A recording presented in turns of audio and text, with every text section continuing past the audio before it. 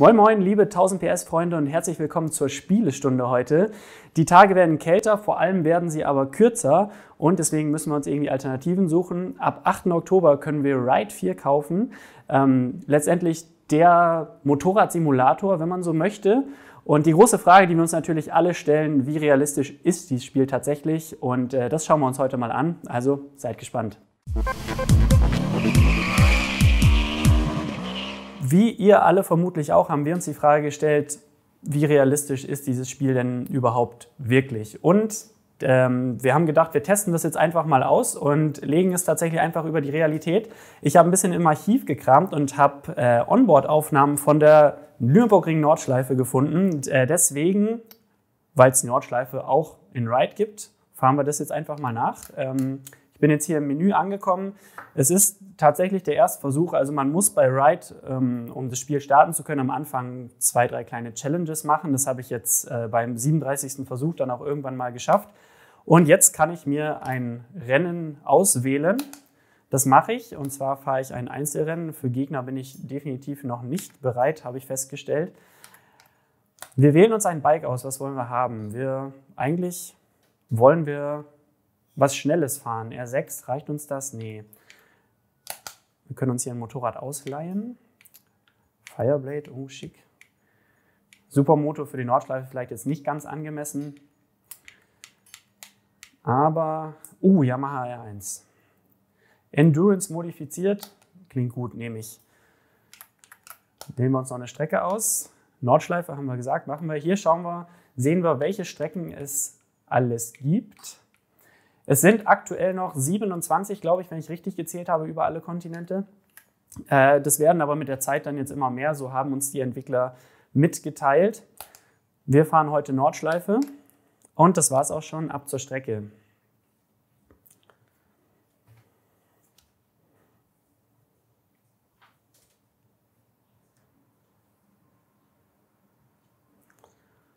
So, die Nürburgring-Nordschleife. Was sehen wir? Es schaut erstmal optisch doch durchaus ansprechend aus, was hier passiert.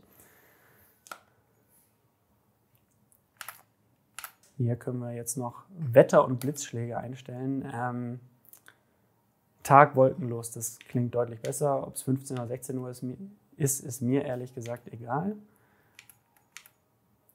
Keine Wettervariabilität, das machen wir auch. Wunderbar, Bike Setup. Ja, weil ich absolut gar keine Referenzwerte habe und das vermutlich ähm, alles seinen Sinn hat, dass das hier so eingestellt ist, wie es eingestellt ist, lassen wir das einfach so und dann starten wir das Ganze einfach nochmal. Also ich drücke Play, wenn ich auch wirklich starte.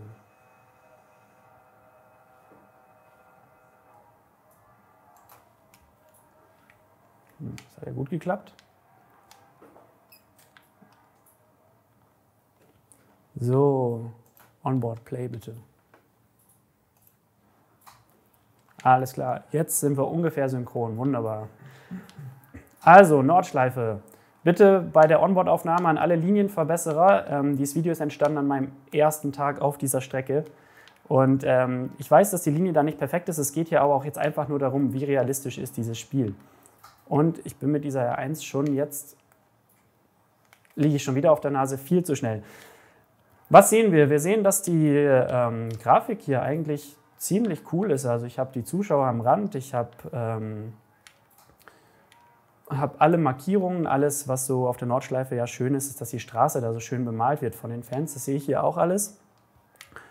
Und ähm, ja, das passt. Äh, das Gefühl hier, man sieht sich eiere rum, ist nicht der absolute Wahnsinn. Oh Gott, oh Gott. Ah, und ich liege wieder auf der Nase. Naja.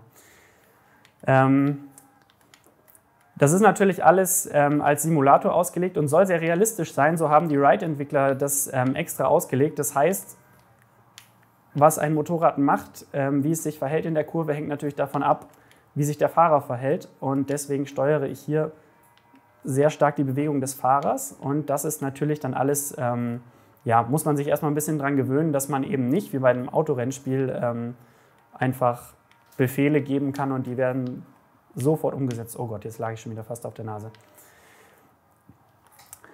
Aber ansonsten funktioniert das hier ja einigermaßen okay. bis darauf, dass ich jetzt gleich vermutlich wieder auf der Nase liege. Ja, naja. Ride 4 am 8. Oktober kommt, hat sich zwei sehr prominente Partner mit ins Boot geholt. Und zwar sind das ähm, Yamaha und Bridgestone. Oh, oh, der war böse. Und ähm, warum sollten so Hersteller ähm, bei einem Videospiel mit einsteigen, ist jetzt die große Frage, die man sich stellen kann. Bei Yamaha, die haben das auf der Pressekonferenz relativ ähm, ja, deutlich kundgetan, dass es einfach darum geht, eine neue Zielgruppe zu erschließen. Und diese neue Zielgruppe sind natürlich junge Leute, die jetzt vielleicht nicht unbedingt sofort schon den äh, Motorradführerschein haben, aber also wenn ich mir jetzt vorstelle, ich arbeite mich jetzt hier in so ein Spiel rein und baue mir da ein total geiles Motorrad, so eine Yamaha R1 hier auf, ähm, dann ist es natürlich klar, dass wenn ich einen Führerschein mache, ich auch total gerne einfach eine Yamaha fahren will. Wenn es vermutlich dann vielleicht erstmal eine 125er ist oder ein äh, A2-Bike, das ist alles, ergibt alles total Sinn, meiner Meinung nach. Und ähm, deswegen gibt es auch ein, ähm, ja, viele Yamahas hier, ein paar Sondermodelle. Und ähm, das ist eigentlich sehr geschickt, wie Yamaha das macht. Ähnlich ist es bei Bridgestone, die natürlich äh, ja auch einfach da auf Präsenz, ah, fuck, auf Präsenz setzen. Ich habe übrigens völlig aus den Augen verloren, wo ich gerade onboard bin. Ähm, ah, ich bin auf dem Spiel auf jeden Fall bis hierher langsamer, wenn ich nicht fünfmal auf der Nase gelegen hätte und vermutlich im echten Leben bereits lange tot wäre, ähm, ei, ei, ei, äh, wäre, wäre ich vermutlich ähnlich schnell. ähm, genau, äh, Bridgestone ist mit eingestiegen und es ist relativ interessant, was nämlich neu bei Ride ist im Vergleich zum Dreierspiel, ist, dass der äh, Reifen jetzt sich auch auf das Fahrerverhalten einstellt. Das bedeutet, wenn ich jetzt hart fahre und in Schräglage hart beschleunige, ähm, meine Güte, jetzt wird es langsam nervig. Ähm, dann nutzt sich der Reifen auch einfach schneller ab, wenn ich die Flanke belaste, wenn ich äh, rund fahre und einen runden Fahrstil zusammenbekomme, wovon ich hier offensichtlich sehr weit entfernt bin, ähm, dann, ja, dann nutzt sich der Reifen eben nicht so schnell ab und da ist es dann so, dass man ähm, eben auch Renntaktiken sehr gut abbilden kann mit diesem Spiel. Ja, was können wir sonst sagen zur Nordschleife? Hier in Ride. Also Ride hat alle Strecken per Drohne vermessen, äh, die Nordschleife auch. Ich denke mal, dass sie das nicht selber gemacht haben, weil diese Daten sind ja schon ähm, sehr lange vorhanden und da gibt es andere Vierradspiele, die das schon länger umgesetzt haben. Ähm, letztendlich ist diese Strecke hier meiner Meinung nach bislang sehr, sehr gut abgebildet. Ich war dieses Jahr das erste Mal ja tatsächlich auf der Nordschleife, habe mich früher auch mit ähm, Vierradspielen damit beschäftigt und ähm, muss sagen, also erstmal ist es natürlich nochmal unglaublich beeindruckend, wenn man diese Strecke dann wirklich selber mal unter die Räder nimmt und fahren kann. Ähm, und vermutlich hätte dieses Spiel mir jetzt so beim ersten Gefühl ähm, durchaus geholfen, mich darauf vorzubereiten. Ähm, ja, ich habe hier bekommen eine Ideallinie angezeigt. Scheiße. Ähm, bekomme Bremspunkte angezeigt. Ähm, ja, bin deswegen eigentlich ganz gut aufgehoben, ähm, allerdings motorisch absolut unfähig gerade. Und deswegen funktioniert das nicht so richtig. Aber ansonsten ist diese Strecke wirklich sehr realistisch abgebildet, meiner Meinung nach. Ähm, man merkt jetzt gerade, ich bin gerade über eine Kuppe gefahren, da wurde das Vorderrad leicht, jetzt ein bisschen hochgekommen. Ähm, das ist natürlich was, was in echt nochmal viel beeindruckender rüberkommt. Allerdings hier auch ähm, ja, einfach genau so passiert. Also ich ähm, kann mich nicht nur auf rechts und links einstellen, sondern es geht auch oben unten, vor allem Bodenwellen. Ähm, ja, es fängt an zu vibrieren, wenn der Asphalt nicht so toll ist. Das gefällt mir wirklich sehr gut. Was mir nicht gefällt, ich sag's immer wieder gerade, ist mein Fahrstil. Also ähm, falls jemand nochmal über die ähm, Onboard-Linie meckern möchte, bitte meckert doch einfach über die Linie, die ich hier fahre. Und äh, in Sachen Fahrphysik ist Ride ähm, schon wirklich ähm, sehr weit. Das bedeutet, ähm, Bremsen in Schräglage hinein funktioniert nicht so richtig. Man, ähm, ja, man muss wirklich ein bisschen dosieren. Und ich habe es mir jetzt gerade leicht gemacht, indem ich das Standard-Setup benutzt habe. Das heißt, ich muss eigentlich nur Gas geben, Bremse und lenken. Man kann das Ganze dann auch noch mit der, mit der wirklichen Schaltung spielen. Und jetzt bin ich hier. gerade durchs Brünnchen durch, fahre jetzt auf die Eiskurve zu. Hier ist in Realität der Asphalt tatsächlich am schlechtesten auf der Strecke. Das habe ich jetzt hier nicht so gemerkt. Oh, Hinterrad kurz weg, naja. So, Pflanzgartensprung. Uh, der hat wehgetan. Autsch. Ja, wir sind dann bald schon einmal um die Nordschleife rum.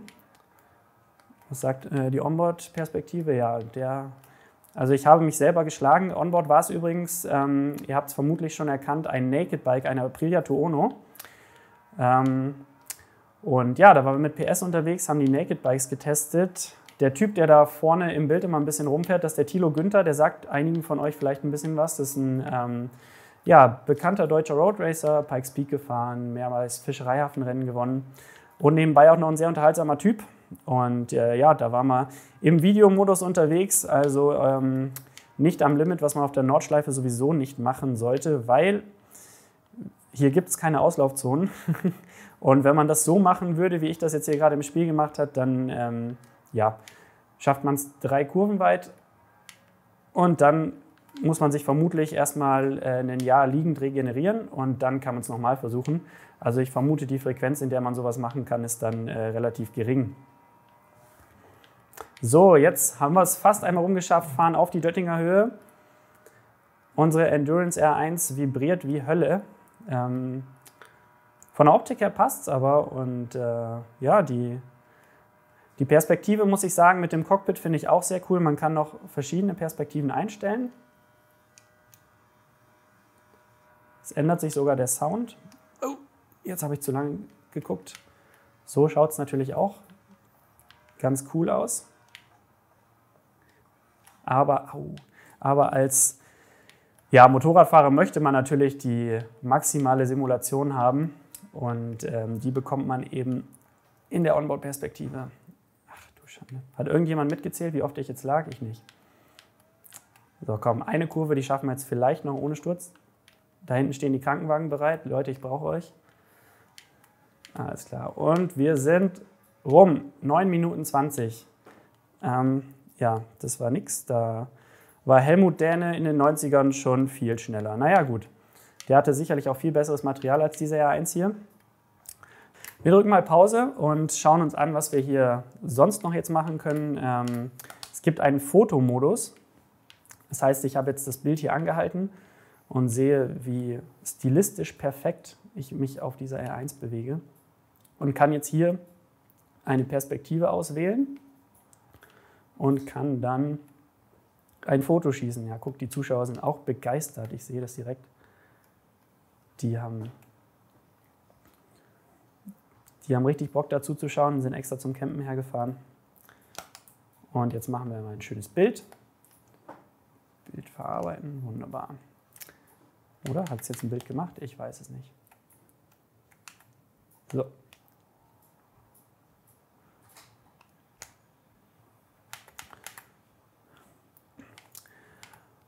Ja, und äh, die Gegner sind längst weg. Ich habe noch ein schönes Foto gemacht. Jetzt gehe ich mal zurück zum Hauptmenü. Der nicht gespeicherte Fortschritt geht verloren. Ja, oh schade. Diese grandiose Leistung wird, ja, wurde jetzt doch aufgezeichnet. Vermutlich wird sie dann doch irgendwann mal ähm, stattfinden. Ja, was haben wir noch zu Ride 4 zu sagen? Wir haben einen Mehrspielermodus. Wir können unser Bike ähm, und unseren Fahrer natürlich ähm, anpassen. Wir können unser, unsere Lederkombi, können wir uns was anderes anziehen, Fahrermontur. Ähm, was haben wir hier? Handschuhe, können wir alles einstellen, wenn wir das gerne möchten. Visier sogar vom Helm, die Farbe. Ja, da hätte ich natürlich so was Verspiegeltes genommen. Eigentlich sieht noch cooler aus. Stiefel, Knieschleifer und so weiter, alles anpassbar. Sehr cool. Ähm, Moment, Rider-Montur, da stand was von Harley Davidson ja, warum sind wir so eigentlich nicht gefahren? Sieht doch geil aus. Passt nicht ganz zu R1, ist aber witzig. Ähm, wir können unseren Fahrstil sogar anpassen. Ähm, ausbalanciert, ähm, ja, vermutlich das, wie ich jetzt auch in tatsächlicher, in der Realität fahren würde. Schultern raus, ähm, ja, ein bisschen Marcus-Style, sieht auch geil aus. Alte Schule, haben wir den Dovi dann. Füße beim Start. Beide Füße, rechter Fuß, linker Fuß. Also welcher Fuß steht auf dem Boden. Ja, ist jetzt vielleicht nicht übermäßig relevant, aber witzig, dass man es einstellen kann. Bremsbein raus. Äh, sieht man in der MotoGP, mache ich in echt sowieso nicht. Lass mal also sein. Bremsfinger 2 passt. Bestätigen und zurück. Gehen wir nochmal ein Stück zurück. Ähm, Radtuning. Radtuning heißt in dem Fall Bike-Tuning. Ähm, da hat der Übersetzer ganze Arbeit geleistet. Wir können am Motor was machen. Ah, schau, Motorbausatz 1, Motorbausatz 2 ist in dem Fall jetzt noch gesperrt. Was bringt uns der Motorbausatz? Naja, schau, über 10 kW Leistung, Gewicht geht runter, kostet 12.460 Credits. Können wir das machen? Na schau, unser Startgeld hat dafür anscheinend gereicht. Jetzt hätte ich das natürlich auch ähm, geschafft, mit der, mit der 1 mitzuhalten. Das ist ja logisch. Ah nee, es war die R6, ich stelle fest. Ähm, ich habe das Gameplay noch nicht so richtig verstanden. Die R6 ist also mein Motorrad. Ähm, ja, damit hätte ich es natürlich auch besser geschafft. Die ist ja viel fahrbarer. Persönliche Garage. Da steht nämlich die R6. Schaut schick aus. Ähm, von den Details her der Motorräder hat Ride nochmal deutlich nachgebessert, ist um ein Vielfaches ähm, höher geworden im Vergleich zu Ride 3. Ähm, ja, man darf jetzt hier natürlich keine, keine großen, überrealistischen Aufnahmen erwarten. Ähm, aber darum geht es gar nicht. Es geht ja auch um die Fahrphysik und das hat, wie wir wissen, eben sehr gut funktioniert. Und ja, jetzt können wir noch in die Karriere hineingehen. Europa-Liga, das ist das, wo wir anfangen müssen. Ähm, dann können wir uns in die Weltliga und in die Finalligen vorarbeiten. Äh, ja, ich habe eigentlich relativ viel Lust, während der Arbeitszeit hier noch ein bisschen zu spielen. Deswegen werde ich das jetzt gleich mal angehen. Ähm, fürs erste, für den ersten Eindruck des Spiels soll das hier jetzt aber reichen. Meiner Meinung nach hat es ähm, von der Fahrphysik her sehr gut gepasst. Ähm, die Optik sah auch cool aus. Die Nordschleife, geile Strecke, hat überhaupt nicht funktioniert. Ähm, äh, hat allerdings ja, sehr viel Spaß gemacht und ich denke, mit ein bisschen Übung kann man sich da richtig reinfuchsen und ähm, ja, hat schon durchaus Suchtpotenzial. Ab dem 8. Oktober kann man das äh, Game kaufen. Ab dem 21. Januar gibt es das dann auch für die neue Xbox und die PS5. Und äh, ich glaube, wenn man es vorbestellt, kriegt man es sogar zwei Tage eher. Also wäre dann der 6. Oktober. Genau. Äh, ich denke, für die ja, dunklen, kalten Winterabend ist das durchaus ein cooler Zeitvertreib für Motorradfahrer. Und ähm, ja, deswegen mache ich damit jetzt auch erstmal ein bisschen weiter. Und ja, wenn euch das Video gefallen hat, lasst einen Daumen da. Wenn nicht, macht einfach nichts. Das gefällt mir immer am besten. Und ähm, dann bis zum nächsten Mal. Ciao.